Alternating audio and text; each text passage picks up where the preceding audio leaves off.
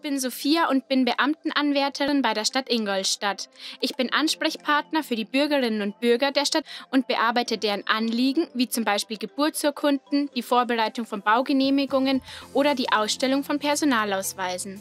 Im Laufe der Ausbildung bin ich für verschiedene Ämter der Stadt Ingolstadt zuständig und habe somit viel Abwechslung in meinem Arbeitsalltag. Neugierig geworden?